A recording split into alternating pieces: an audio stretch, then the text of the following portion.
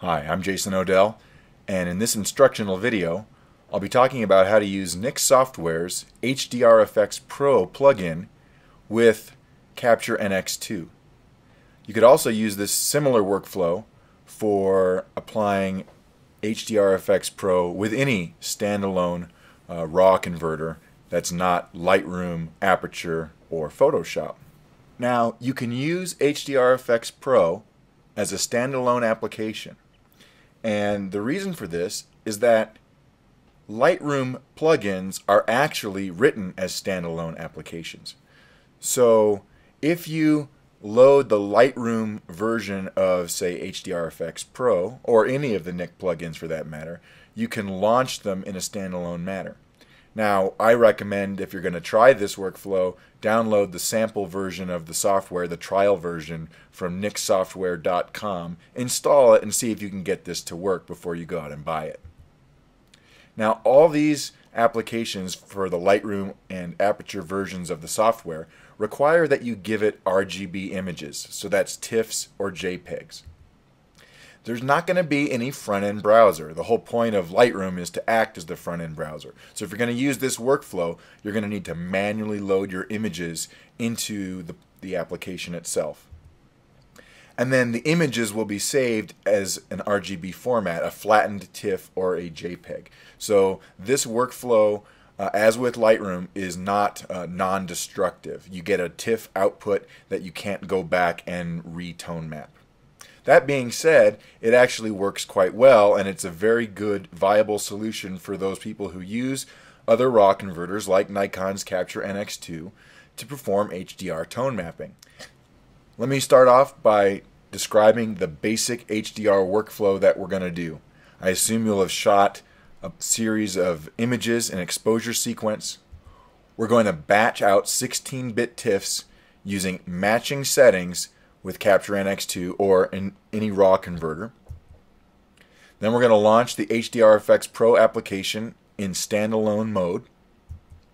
We'll load those TIFFs into HDR Efex Pro and do our tone mapping. The last thing will be to save a TIFF, and if you want to, you can then open that TIFF up again in Capture NX2 or any other editing program to edit it further, sharpen it, whatever you might need to do.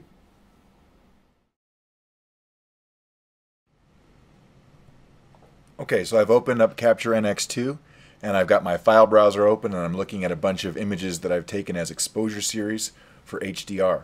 And what I need to do is batch across identical settings to each of the images and I'm going to export them out as TIFFs.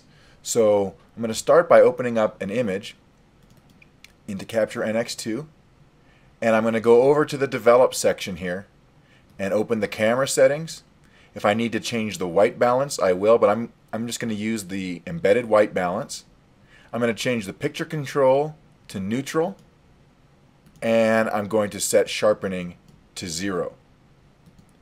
And then at this point, I've got settings that can work if you wanted to add any other global settings that you could, but I'm not going to do any kind of levels and curves or saturation adjustments at all. I just want to produce a flat image. So I'm going to go to my settings and select them and I'm going to say save adjustments and I want to make a preset. I'm going to choose the picture control settings and pretty much that's everything in there and I'm going to save this as HDR preset and click OK. Now I can close the file. I don't need to save it and I'm going to go back to the browser. Here's the sequence of images that I'm interested in. I'm going to select all of them and then I'm going to right click, choose load adjustments and my HDR preset. When it does that, it'll ask me if I want to replace the current settings. I'm going to say yes, and I get the processing queue dialog. I want to save these out as TIFF format, 16-bit, embedding the ICC profile, and I'm going to close this when I'm done. So let me select a folder. I've created a folder in in my um, in my main directory.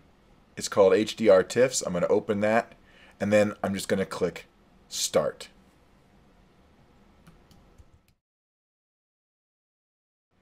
So here I am in the Applications folder on my computer and I've installed the Nik Software HDR Efex program in the Lightroom plugin, and I can find the application in my folder called Nik Software.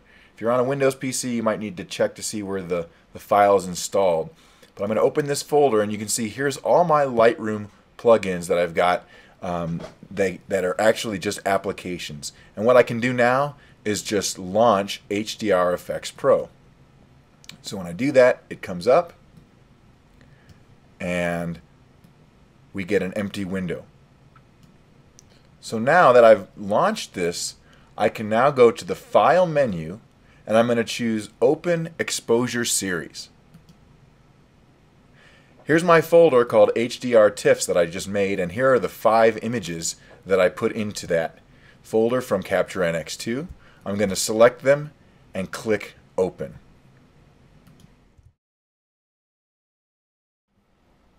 Now that I've loaded my image sequence into HDR Efex Pro, I'm ready to do my editing and tone mapping. So here's the default. I'm going to go over to the Custom Presets tab from the preset browser. And you can see under here, Imported Presets. Here are the 14 presets that come with my ebook, The Photographer's Guide to HDR Efex Pro. And these are the presets that you can download for free from my website that Tony Sweet and I came up with. I'm going to choose a preset style that I want. So I'm going to choose Artistic Interiors 3.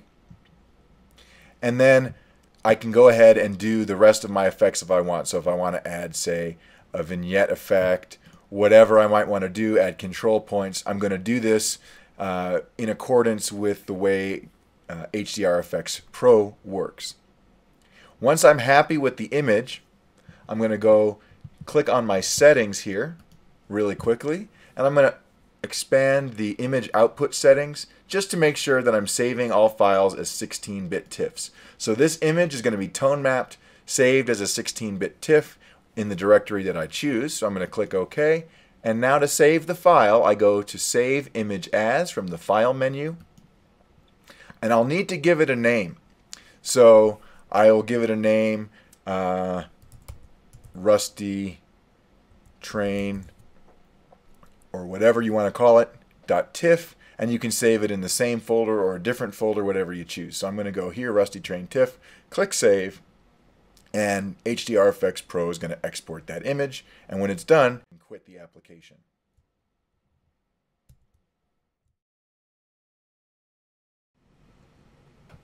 Okay, so I saved out my batch TIFFs. I tone mapped the TIFF file and I saved that file as rustytrain.tiff. So now I'm back in Capture NX2 in my browser and here's that file. I'm going to double click to open it and it opens up in Capture NX2. Now this is where I could do any additional processing if I wanted to, but at the least what I can do is save, uh, add in a little bit of um, unsharp mask. So let me just do a little bit of sharpening. And you got to be very careful when you're doing sharpening on tone mapped images because you can really easily overdo it. So uh, start small and then uh, adjust as necessary. And then what I want to do is save this file and I'm going to save it as a NEF file. Okay, so here's my folder again, rustytrain.nef. Now, just as a reminder, this isn't going to make this magically into a RAW file, but what it is going to do is it allows me to save the file in a format that's non-destructive. So I can come back and change my sharpening settings, or if I wanted to add maybe a little uh, color effects, tonal contrast, whatever I might want to do, I can come back to this master file and re-edit it. That way it doesn't uh, uh, destructively edit the image. And with that, you're essentially done.